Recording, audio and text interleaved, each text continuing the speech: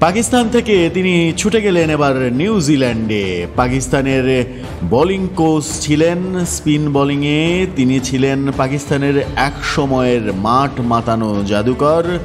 এবার তাকে দেখা যাবে নিউজিল্যান্ডের সহকারী কোচের ভূমিকায়। বলছি, পাকিস্তানের কিংবদন্তি স্পিনার সাকলাইন মোস্তাকের কথা। নিউজিল্যান্ডের সহকারী কোচের দায়িত্ব পেয়েছেন এবার সাকলাইন মোস্তাক। চলতি মাসে পাঁচটি করে ওয়ানডে এবং টি টোয়েন্টি খেলতে পাকিস্তান সফর করবে যখন নিউজিল্যান্ড। সেই সফরেই নিজের দেশে কিউদের কোচিং দলে কাজ করতে দেখা যাবে সাকলাইন মোস্তাককে।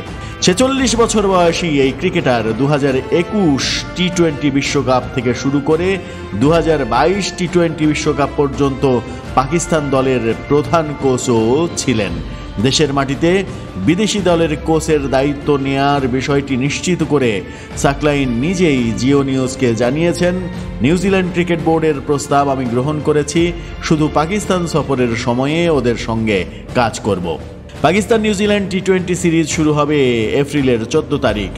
এর দুই দিন আগে টম লাথামদের সঙ্গে যোগ দেওয়ার কথা তার। সাকলাইনের মেয়াদ শেষে পাকিস্তান দল ছেড়ে যাওয়ার পর পিসিবি এখনও প্রধান কোচ নিয়োগ দিতে পারেনি। সেই ব্যাপারে এখনও তারা সিদ্ধান্তহীনতাতেই ভুগছে।